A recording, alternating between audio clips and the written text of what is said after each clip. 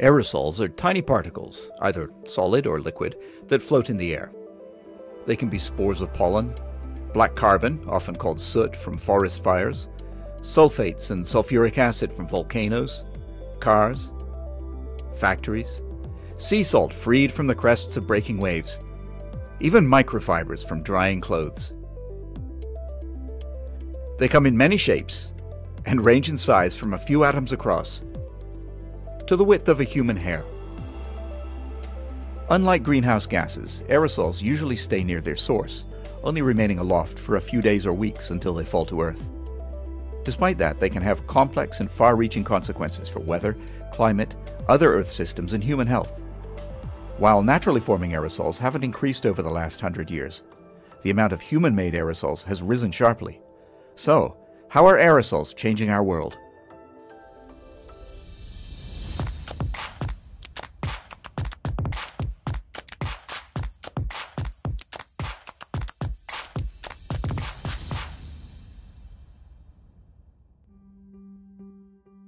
Most aerosols act to cool the climate because particle surfaces are at least partially reflective.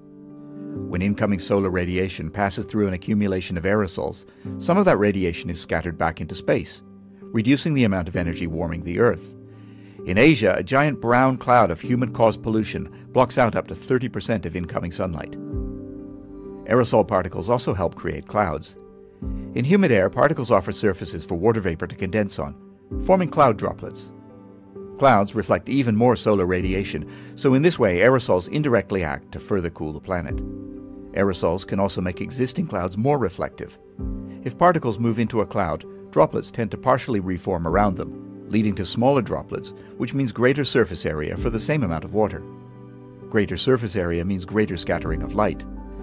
This phenomenon is clearly visible in satellite images of so-called ship tracks, bright lines where sulfate-spewing ships have passed. But not all aerosols are cooling. Dark colored particles such as organic carbon and soot, emitted by forest fires, brush clearing, wood, charcoal, and even dung fired cooking stoves, absorb light and re radiate the energy around them as heat, warming the atmosphere while also cooling the surface. This effect can interfere with the water cycle by reducing the temperature gradient between Earth's surface and the atmosphere. This slows evaporation, which then leads to less rain and sometimes drought. Another way aerosols reduce precipitation is when cloud water droplets cling to the particles instead of falling to the ground. This might reduce rainfall at first, but it could also just delay it, leading to stronger rainfall elsewhere. Aerosols can even cause thunderstorms by holding onto droplets longer, allowing moisture-laden clouds to rise up higher in the atmosphere, forming thunderheads. In the US Midwest, thunderstorms occur most often at midweek, when urban pollutants are at their worst. Obviously, reducing human-produced aerosols is a good thing. Besides changing weather patterns, aerosols are blamed for the deaths of more than 6 million people every year. Fortunately, clean technologies have already helped reduce many aerosols, especially sulfate aerosols. But reducing them too fast is also a problem. That's because the cooling effect of aerosols offsets or masks some of the warming caused by greenhouse gases. In fact, seeding clouds with aerosol particles has been proposed as a way to combat global warming. Meanwhile, some scientists warn that eliminating sulfate emissions could double global warming over the next 25 years.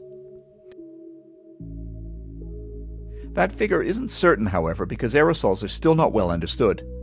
They're hard to observe and hard to model with computers.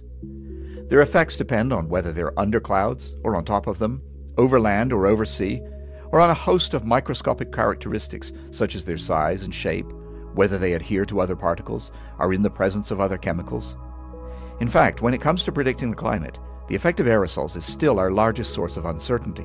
That uncertainty has huge consequences when it comes to predicting the impacts of eliminating aerosols, says Stephen Schwartz, a climate scientist at the Brookhaven National Laboratory. That's because aerosols don't just mask global warming, they mask climate sensitivity. Climate sensitivity is a measure of how susceptible the Earth's current temperature is to changes in energy input. Greenhouse gases add energy, while aerosols typically subtract energy. Think of it like wrapping yourself in a blanket or applying an ice pack to your head. Climate sensitivity is like your metabolism. One blanket might be enough to warm others up, but you might still feel the cold. Unfortunately, we don't know how sensitive the Earth is. We do know how much Earth's temperature has risen in the last 150 years. That's been recorded. We also know how much greenhouse gases have increased the absorption of incoming solar radiation. The physics is well understood.